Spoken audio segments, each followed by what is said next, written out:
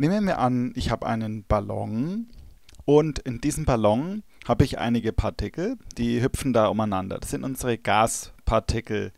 Die bewegen sich frei und sie haben alle eine bestimmte Geschwindigkeit, also eine kinetische Energie. Und was ich jetzt wissen will, ich zeichne hier noch ein paar rein, das ist jetzt der sechste hier.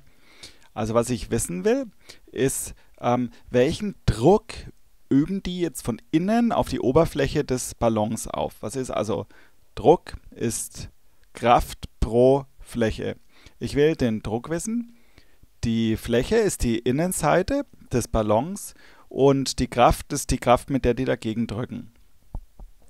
Und in Wirklichkeit habe ich natürlich nicht nur sechs Partikel, sondern Trillionen, Trillionen, Trillionen und ähm, eigentlich mehr, als du dir eigentlich vorstellen kannst. Aber stellt euch jetzt einfach mal vor, zu einem bestimmten Moment äh, klopfen die oder springen die gegen die Innenwand. Der zum Beispiel oder der. Und wenn die jetzt gegen die Innenwand des Ballons äh, dagegen fliegen, dagegen hauen, ähm, müsst ihr euch vorstellen, der Ballon wird eine Art, der wird wie aufgeblasen. Und jetzt kannst du dir vorstellen, ähm, dass der Druck umso größer ist, je schneller die sind. Wenn ich also schnellere Partikel habe, dann, dann äh, fliegen die mit höherer Geschwindigkeit wie so kleine Bälle dagegen. Wenn die langsamer sind, dann, dann, dann, dann hauen die einfach weniger stark gegen den Ballon. Wenn die also, wenn ich langsamere Partikel habe, dann habe ich also einen niedrigeren Druck. Und das Problem ist, ich kann, ich kann die kinetische Energie und die Richtung von diesen ganzen Partikeln eigentlich gar nicht genau messen. Und jetzt überlegen wir uns einfach mal, wie, was könnte die durchschnittliche kinetische Energie der Partikel sein. Und das ist jetzt ein neues Konzept. Und eigentlich ist es etwas, was ihr schon kennt, nämlich es ist einfach die Temperatur.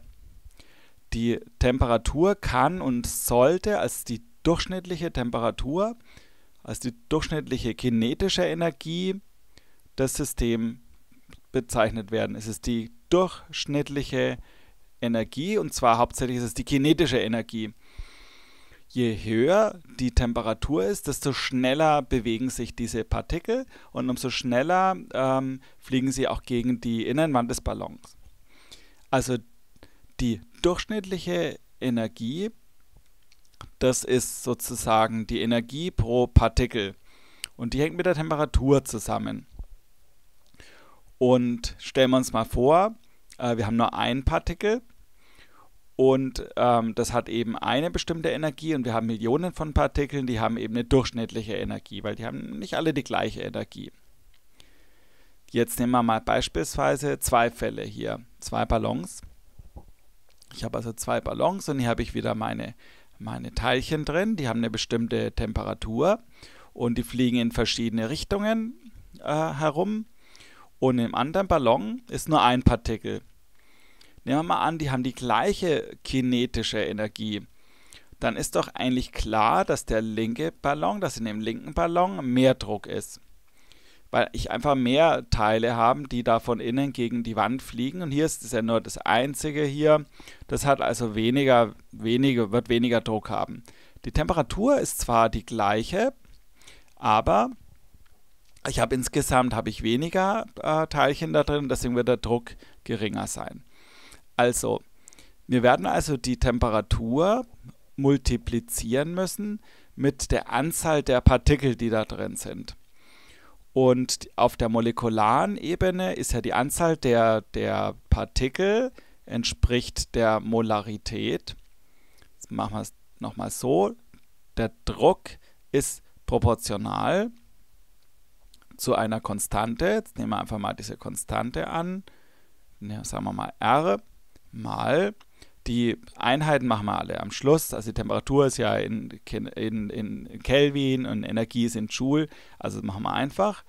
Konstante mal die Temperatur mal die Anzahl der Atome hier drin in Mol.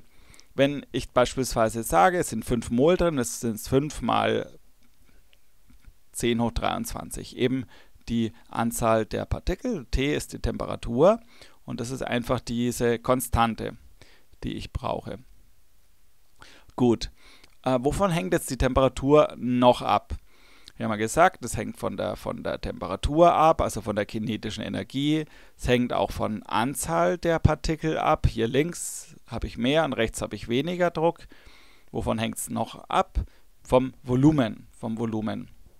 Wenn ich mir jetzt vorstelle, dass ich diesen Ballon schrumpfe, dass dieser, dieser Ballon kleiner wird und ich habe immer noch diese vier Partikel da drin. Eins, zwei, drei, vier mit der gleichen kinetischen Energie und der gleichen Temperatur.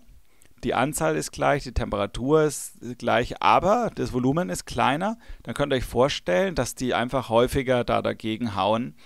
Und weil die, weil die Fläche kleiner ist, wir haben ja gesagt, die, der Druck ist Kraft pro Fläche. Wenn die Fläche jetzt kleiner wird, wenn die kleiner wird, dann wird insgesamt der Druck größer. Also wenn das Volumen kleiner wird, dann wird der Druck höher.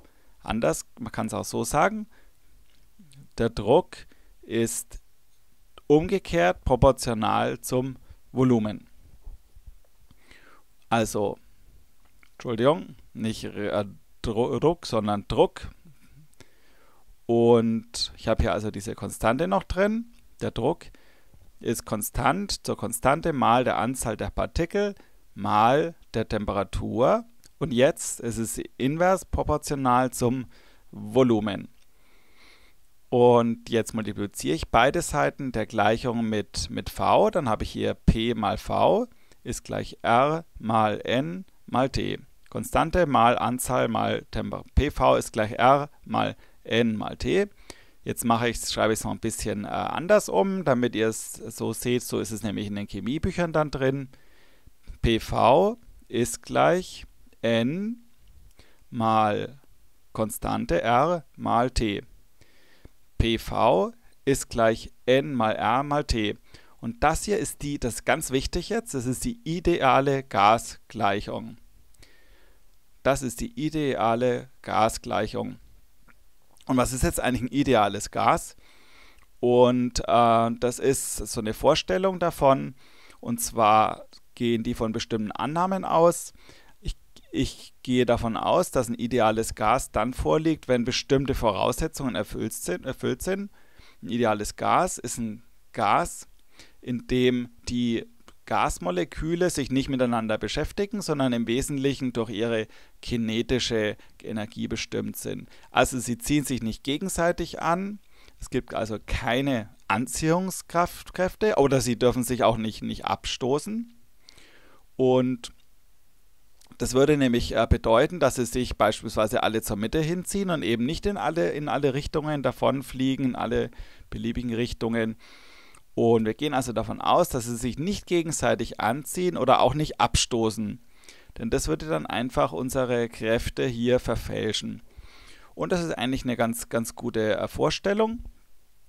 Und denn ihr müsst euch nämlich vorstellen, dass in Wirklichkeit da nicht sechs, sechs äh, Atome drin sind, sondern Millionen, Millionen, Millionen. Und die können sich natürlich schon auch gegenseitig beeinflussen, sich also anziehen oder eben sich gegenseitig abstoßen. Ich will nur, dass ihr euch vorstellt, das ist also eine Art geistige Übung, dass in dem idealen Gas sich die einzelnen Atome sich nicht abstoßen oder anziehen und da kann man eben diese ideale Gasgleichung dann, dann anwenden. Und ja, die werdet ihr also ganz oft noch wieder sehen. Das kommt viel, ganz oft in der Chemie. Und in den nächsten Videos werden wir ganz, ganz, ganz, ganz viele, viele Übungen mit dieser idealen Gasgleichung machen. Und wichtig ist nur, dass ihr euch vorstellen könnt, wie, wo, wie ich diese herleite und wie diese ideale Gasgleichung aufgebaut wird. Und ich will auch, dass ihr die möglichst nie mehr vergisst.